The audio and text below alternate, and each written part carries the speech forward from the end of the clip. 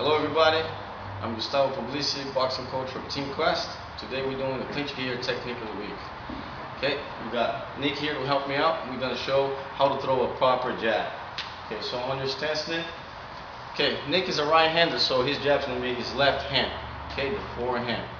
Now, throwing the jab. Okay, the jab is the most important punch in, in of a striker. Okay, the jab sets up many things. I don't care if you're an MMA fighter, kickboxer, or a boxer. You gotta have a good jab. Now, how to throw a good jab? Okay, first thing you wanna wanna know when you're throwing the jab. Okay, you wanna not just throw an arm punch. It's a punch that involves your shoulder. Okay, it's a punch that involves also a step. Okay, now taking care of the shoulder.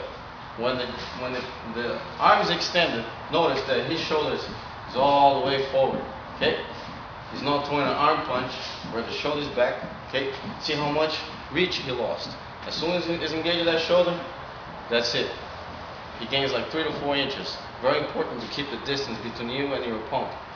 Now, second thing he wants to do, every time he throws the jab, okay, the shoulder's out. Now, he wants to take a little step. Okay, even if he's not moving in place, in space, you gotta move that front foot. So you're not flat-footed, extending. Okay, you don't want to be flat-footed extending. You want to take a step. Or if the opponent is against the cage, you don't have anywhere to go. You still want to tap your feet. Okay, that uses your whole body engaging to the punch. So let's go, Nick. Extend your jab and take the step. One more time. Synchronize. That's it. Okay, that's in slow motion. Now, if you want to see how that goes in real speed, take a look at me. This is how it goes.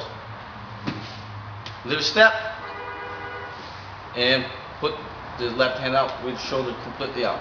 Now, you can't forget about defense. When you're throwing the jab, okay, you got to also worry about your own defense.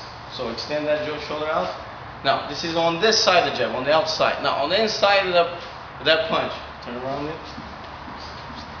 Notice, his hand must be up, cheekbone level or higher. His chin behind the shoulder to protect punches from coming this way and punches coming this way.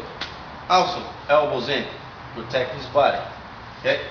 Notice that he's not leaning forward, his body straight up, and the shoulders out.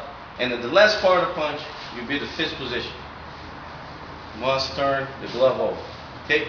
Those two big knuckles are the ones that are going to be making contact. Should be the ones that make contact so you don't risk to break your hands. So when we, her back, now bring it over.